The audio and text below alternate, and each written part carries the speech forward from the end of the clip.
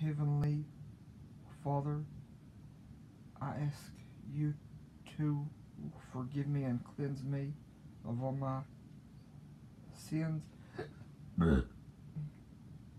Folks, I'm I'm sorry I burped.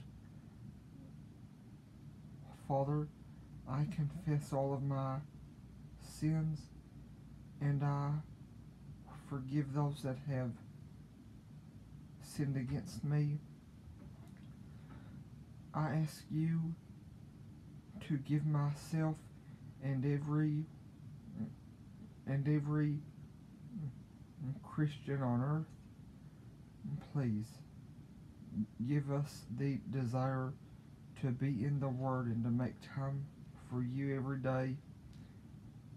And I ask you to give us the desire to ask you on a, on a regular basis to to make us want to to make us want to pray to to to run as to run as far as possible from the from the path of Satan and and darkness and and falsehoods.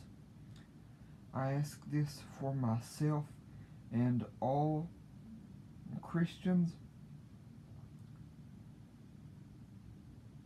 Father, please make us want to to run as far as possible from the path of of of falsehood, darkness, and Satan's lies and Satan's ways.